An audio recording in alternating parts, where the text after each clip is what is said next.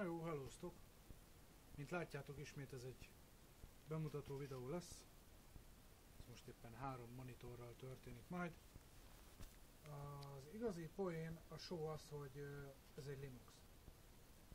Teljesen egyértelműen, ugye látszik, hogy ez nem Windows. Nem csak első ránézésre, hanem mondjuk másodikra is. Ez egy 12.04.2 LTS nevezetű rendszer, gyorsan be is zárjuk. Nem ez a legfontosabb, hanem az, hogy van rajta Steam. Van rajta Steam. A Steamben az a poén, hogy ez a többivel ellentétben uh, natív módban fut, Ö, csak közben áttettem ide. Ö, natív módban fut, tehát semmiféle Wine, HQ-s, ilyen, ilyen gyökérség nincs, ez igazi Linuxos kliens. Itt van egy ilyen problémája, hogy van egy újabb ö, videokártya driver, az FLGX, de mi nem azt használjuk, mert ö, ezeknek a CL bélelt marháknak senki nem mondta meg, hogy a ka, ta, list, mint olyan, az, az milyen vicces dolog. Szóval nekünk van katalisztunk, és a kataliszt ugye a Linuxos változata a illesztő programoknak, és hát ugye látjuk, hogy kettes, az egyes, meg a háromas monitor milyen sorrendben rendelkezik egymás mellett. Mindegy. Szóval működik az ATI kataliszt, és teljesen hibátlanul ugye 3D-be minden fő van húzva, remélhetőleg teljesen. Amit mutatni szeretnék, az a Chain. Counter-Strike 1.6, ami Half-Life 1-es engine-t jelent, tehát Half-Life 1-es motorja van, tehát a Half-Life 1 is fut. De hogy hogyan? He. Igen érdekes, igaz? Ezt ti is meg tudjátok csinálni, csak Linux-szal kell rendelkeznetek. Értelemszerűen a, a Windows-on nem kell ilyen csúnya trükköket bevetnetek, hogy Steam Beta.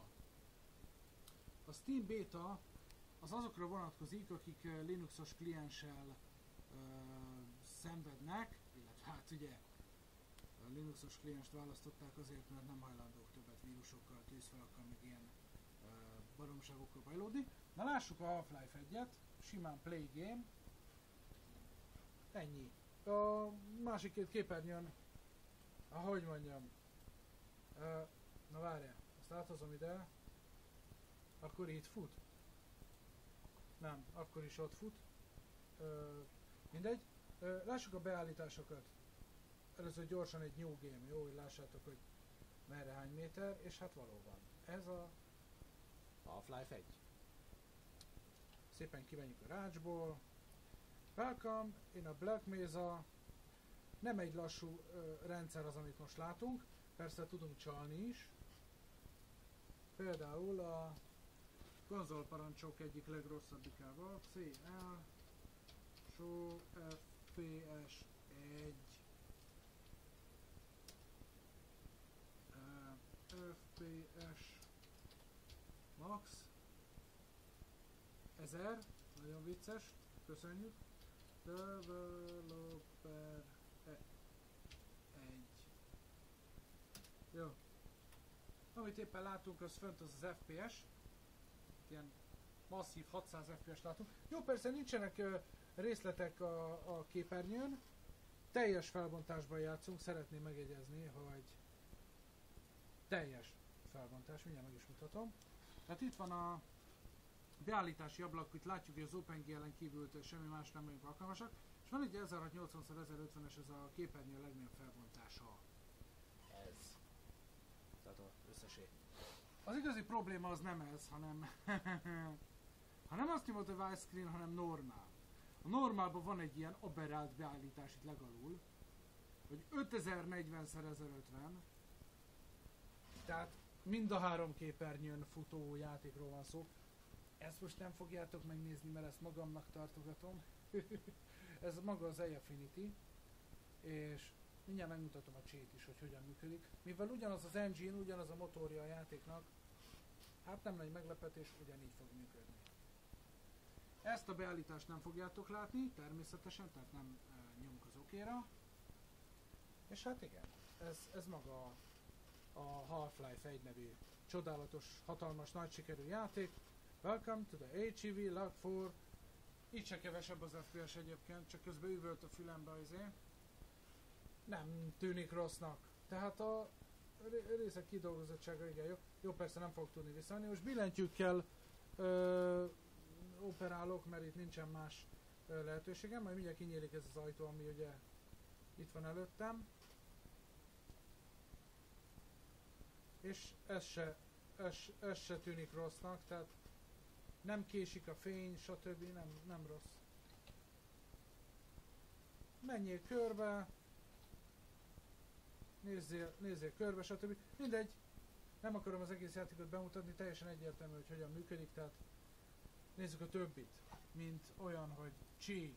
De hát itt van több is, ugyanolyan uh, Half-Life egy engine-es játék, Chi, Dode, uh, Deathmatch Classic, meg hát itt lesz majd lent egy meglepetés, a Svenko, mert az igazi nagy újdonság az, hogy a, a Half-Life 1-et moddolni lehet, tehát van hozzá egy mod, mint például a Ché, illetve a Day of Defeat, de ezek ingyenes modok, ezeket be kell telepíteni a Steam telepítési mappába. Kicsit még trükkös az ügy, még dolgozom az ügyön, még kezdtem. Úgyhogy majd utána jön erről a videó, most lássuk a Csét. A Csé ugye itt van felül, mindenki ismeri, play. Ezt se értem, hogy miért nem középen indul, mindegy, ismeritek ezt a e, képernyőt, nincsen semmi hiba vele. Hát mondjuk talán annyi, hogy kicsit rohadtul hangos. E, vol, tab, és akkor ugye látjuk a, a hangerőnek a kiírását, de hát nekünk ez a 08 ez igen sok lesz. Na, CL, show, FPS 1, ezeket mind be, e, be kell állítani egyébként.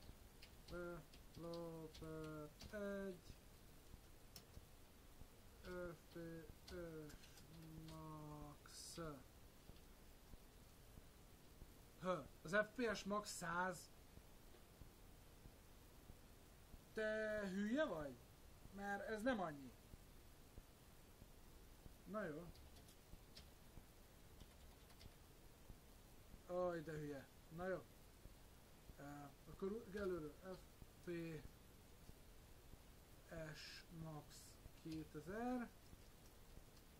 Elég lesz, hidd el. Na, ezzel most nagyon jól elviccelődtünk, de akkor lássuk ugyanígy az options-t. Az options oh, player, bazd meg, na. Nevezzük át magunkat valami vicces névre, hú, de vicces, mindjárt megszakad a rögéstől. Videó.